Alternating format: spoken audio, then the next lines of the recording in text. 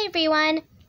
Today I'm going to read another book. This one's called I Can Read With My Eyes Shut by Dr. Seuss.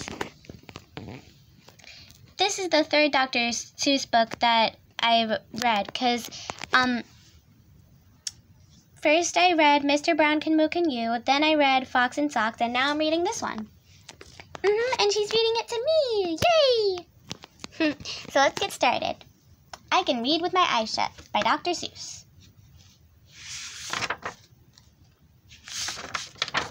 I can read with my eyes shut. Hey, look, it's the cat in the hat and a little cat.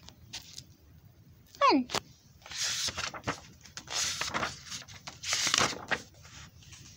I can read in red. I can read in blue.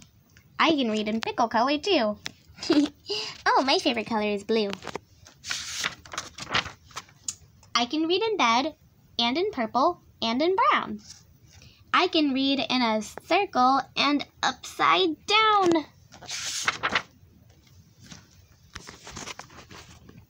Fish. I can read with my left eye. Another fish. I can read with my right. I can read Mississippi with my eyes shut tight. Mississippi. Mississippi, Indianapolis, and Hallelujah too. I can read them with my eyes shut.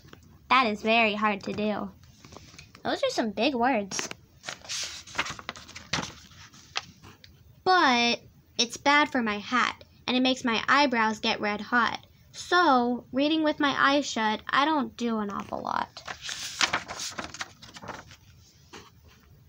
And when I keep them open, I can read with much more speed.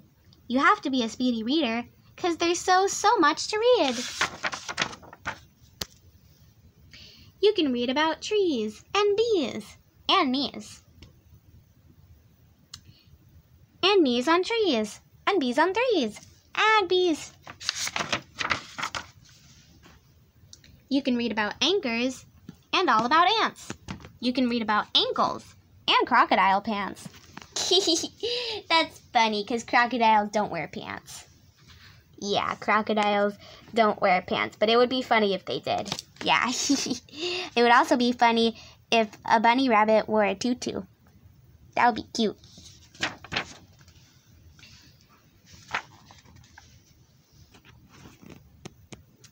You can read about hoses and how to smell roses and what you should do about owls on noses. yeah. Young cat, if you keep your eyes open enough, oh, the stuff you will learn, the most wonderful stuff. You'll learn about fish bones and wishbones. You'll learn about trombones too. You'll learn about Jake the pillow snake and all about Foo-Foo the snoo. What's a snoo? Apparently that. You can learn about ice. You can learn about mice. Mice on ice and ice on mice. You can learn about the price of ice. Nice ice for sale, 10 cents a pail.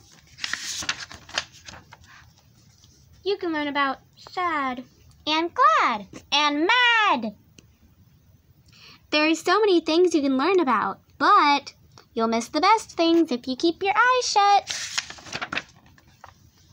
The more that you read, the more things you will know. The more that you learn, the more places you'll go.